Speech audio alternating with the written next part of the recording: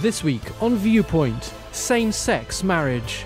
That bottom line is called equality. All of us come from a man and a woman. gets married and produces life. There are people who get married and they don't want children. I will support legislative changes to allow gay marriage. not marriage. for one moment purporting to change what any religion might think is or is not marriage.